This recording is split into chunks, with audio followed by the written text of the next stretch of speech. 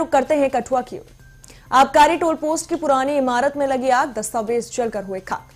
आबकारी toll post के हटने के एक सप्ताह बाद ही पुरानी इमारत में संदिग्ध परिस्थितियों में आग लग गई है, जिसमें 20 से 25 साल पुराने दस्तावेज़ जलकर खाक हो गए हैं। और दमकल कर्मियों ने कई घंटों की मशक्कत के बाद आग पर काबू पाया। स्थानीय लोगों ने निर्यात टोल पोस्ट से सटी हुई पुरानी इमारत में धुआँ निकलता हुआ देखा, जिसके बाद लखनपुर पुलिस को जानकारी दी गई। मौके पर पहुँचे फायर ब्रिगेड की चार गाड़ियों और कर्मचारियों की और कर्मियों की मदद से दोपहर बाद इस आग पर काबू पाया गया।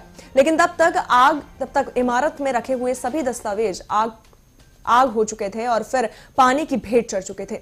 और साथ ही अग्निशमन विभाग के सहायक आयुक्त राजकुमार रैना ने बताया कि पुरानी टोल पोस्ट की पुरानी इमारत की पहली इमारत में रखे हुए पुराने दस्तावेजों में आग लग गई है।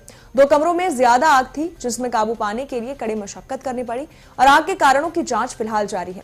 डीएसपी प्रमुख Ramnish Gupta, DSP DR KD Bhagat भी मौके पर पहुँच गए हैं और साथ ही केंद्रीय बलों के साथ पुलिस जवानों ने आग को बुझाने में मदद की है। टोल पोस्ट की पुरानी इमारत में आग लगने से 20 से 25 साल पुराने रिकॉर्ड और फर्नीचर इसकी चपेट में आए हैं। और इमारत को कोई नुकसान नहीं हुआ है। घटना के कारणों की जाँच के लिए पुलिस में शिकायत दर्ज करवा दी गई है।